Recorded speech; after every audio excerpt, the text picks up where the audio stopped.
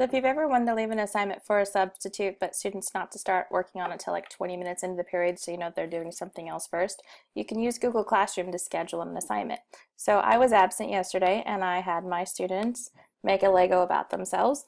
Simple assignment that they're going to use for a few projects so they're not using their actual real photos. And I didn't want them to start this assignment, I'll put the directions here later, until 20 minutes into the period because otherwise they won't focus on the other stuff. So this little down arrow here allows me to schedule it.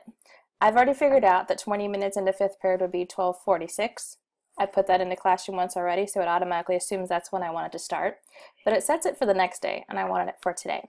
So 20 minutes into the period, it will show up. Until then, it sits here at the top for its under scheduled posts. If I want to make changes to it or I forgot to add the Google Doc to it, I can add that here. But you're probably thinking, what about adding it to 6th and 7th period? When you schedule a time, you cannot schedule a time for multiple classes at once, unfortunately.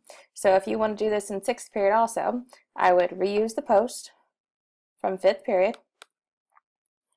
I click reuse and again, I just need to change the time and schedule it. So I've already done this before at 141 because that's 20 minutes into the period. So it kept the time for me. I just need to change the date.